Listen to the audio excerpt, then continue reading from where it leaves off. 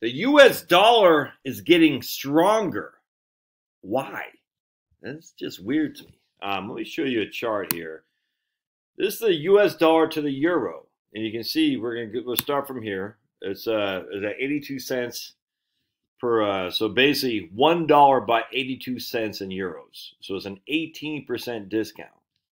Now it's at a it's gone up basically 12% in the last not even the last year, the last eight months, nine, ten months. Why? It's just odd to me. Check this out. That's a euro against a euro. If we look against the uh, I can't the British pound, I can't remember. I think it's yeah, gone up a little bit against the British pound too. They're not huge, but it's gone up. Check this out against the Japanese yen. Look at that. Huh. Because of uh, the China? Is that what we're concerned with? The Japanese uh, being, I don't know, it's just weird to me. Does Taiwan get a currency? Let's see, Taiwan. Yeah, Taiwan new dollar. Yeah, definitely. Look at that. Huh. Anyway, what has it gone against? I don't think Canadian dollar has gone up much, if anything. It's yeah, it's actually gone down a little bit, but we're still well above par with Canadians, even though uh, it's gone down quite a bit over the last uh, two years. That's interesting. Let's take about ten years for Canadians. Yeah, we've gone up. So why has the U.S. dollar gone up in the last, you know, less than the last year, basically the last six months? Interesting the global economic structure, I think. So here's move this over here like that. Here's Martin Armstrong uh, writing at uh, from uh, Armstrong Economics, writing at lewrockwell.com. Anti-state, anti-war, pro-market. That's exactly where I am. Uh, he says capital flows confirm war is coming, and he says the greatest danger to America will be a strong dollar. Asia money flows from the from the Asian markets to the United States, third world to the United States, Europe to the United States. Basically, when the signs of chaos, everyone buys the safest investment, which is the U.S. dollar. Why? Uh, because right here, if I can find it, hold on a second. Historically, the capital flows to the dollar during World War under the assumption that tanks will not be landing on the beaches of Virginia or California. Uh, this will tend to support the dollar, but not long term. I completely agree. Biden's sanctions attacking individual Russians have turned into a nightmare. The Czech Republic is seizing all assets of any Russians based solely on their ethnicity, as ethnicity as they were doing during the Jap- Japanese during World War II in the U.S. And now even Switzerland is doing the same thing. The sanctions are not going to cause regime regime change and the overthrow of Putin. Well, uh, this is outright hatred of Russians as a people, and they'll have no choice but to bond with China in an all out war against the outrageous tyranny that we're dealing with right now in the West. The neocons are bringing the entire world back to destruction, which some argue is part of their plan to enable their plan to build back better, which necess- necessitate, necessitates the destruction of the current energy system. Yep and the reduction of the population to make Bill Gates sleep better at night. 100%.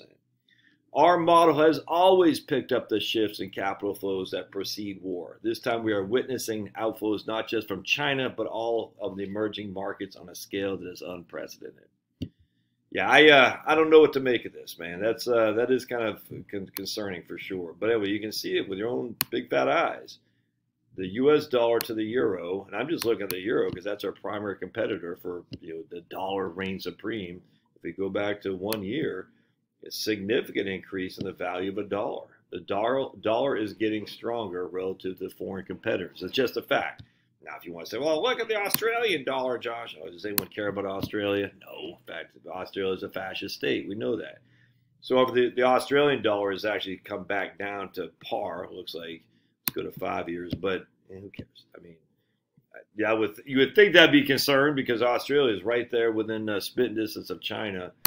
Uh, but let's actually let's look at China, the one, and I think we're actually gone down against the Chinese dollar. Yeah, we have. Um, let's go to one year though. So I don't know what to make of it. I just know. I mean, but China is is is a different uh, atmosphere than we are. So the dollar is getting stronger, which is interesting to me. And uh, I, you know, with Biden calling for regime change in uh, Russia, I mean, think about it. If if you're Xi Jinping and Biden's calling for regime change in Russia and saying Russia's a war criminal, uh, let's go back to Armstrong economics. What? Uh, what are you going to do there? All right, right here. It pains me to have to write this, but clearly those who understand where this is going is to World War III, and make no mistake about it, this is intentional. Even the official data has revealed that foreign investors have sold a net 5.5 billion of Chinese bonds in the last few weeks. Biden stupidly threatened China if they support Russia, that they will suffer the same sanctions. This is just insane, is deliberately trying to destroy the world global economy.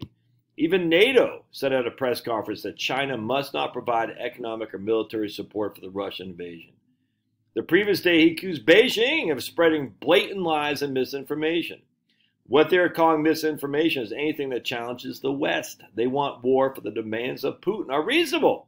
Ukraine remains neutral, surrender Donbass and Crimea, which are ethnic Russians, uh, when Zelensky passed the law that language, the language law that Russia is no longer official language in the Ukraine, it's the essential to telling the Spanish speakers if you don't speak English, get out. So let me show you something else. So here's a map that shows which countries support uh, Western government sanctions against Russia and which do not.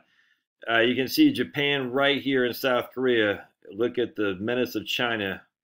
Yeah, they uh, they better hope the the NATO is going to defend these guys. Um, I'm not sure what country that is right there. But anyway, look at these right here. And that's probably why China, actually, let's see about this, the South Korean. I don't know what the South Korea dollar is. South Korea, uh, the won. All right, let's see what the South Korean dollar is doing.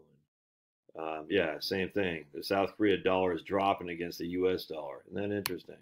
So you got China, South Korea, uh, dropping like a ton of bricks uh, against the dollar. Europe dropping like a ton of bricks against the dollar.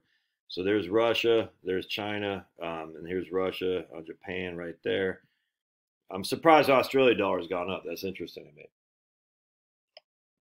Canadian dollar has gone up um, against the dollar, not much, but a little bit, because again, not likely to land on the shores of Canada. But these are the countries that are imposing uh, sanctions against Russia and these are the countries that aren't. All of South America, Mexico, all of Africa, the vast majority of the of the Asian and the uh, East Asian, uh, India, none of them are. Isn't that interesting? So th- this is where the divide is going to be: the modern white, essentially, countries, and then Japan and South Korea, the West, quote unquote, um, is the bifurcated economy that's coming and I, am not sure it's going to be good. I, I, mean, I don't know if it's going to be good. It's going to be different, that's for sure. And I think it's going to be expensive, and I think it's going to be a fiefdom. And as such, uh, I think there's a lot of initial reaction to war that says, let's buy the, the safest bet. But I, I don't know that that's going to be interesting. So check this out. Um, yeah, I'll do another video on this. I will. All right, we'll see you.